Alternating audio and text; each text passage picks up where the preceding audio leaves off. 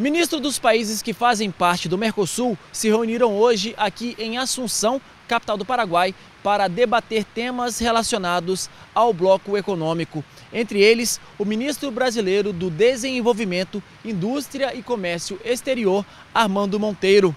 Segundo o ministro, Brasil e Paraguai iniciaram conversas para estreitar a relação comercial de automóveis entre os dois países. Temos uma perspectiva concreta de celebrar um acordo automotivo com o Paraguai. O Paraguai é o único país no âmbito do Mercosul que nós não temos um acordo automotivo.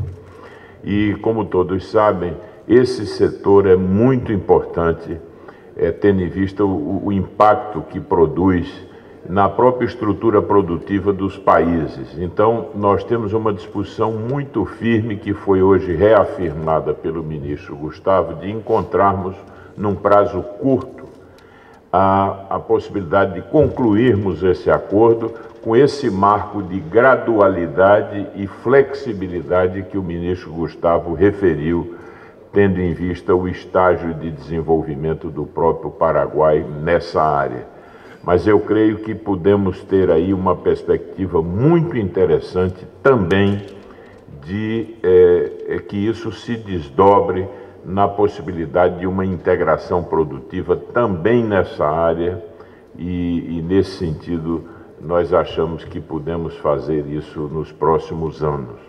Portanto, eu registro essa nossa satisfação de podermos concluir um acordo nessa área que é tão importante.